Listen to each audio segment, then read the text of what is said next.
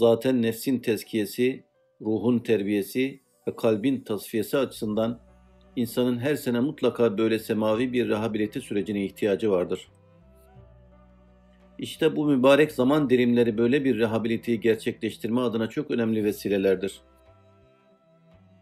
İnsanın bu yümünlü vakitlerde bedeni ve nefsani ağırlıklardan sıyrılıp belli bir ufka yükselerek belli bir seviyeyi yakalayabilmesi en başta ciddi bir tefekkürü gerektirir. Ancak bunu yaparken o kalp ve ruhunu da sürekli maneviyata açık tutmalıdır.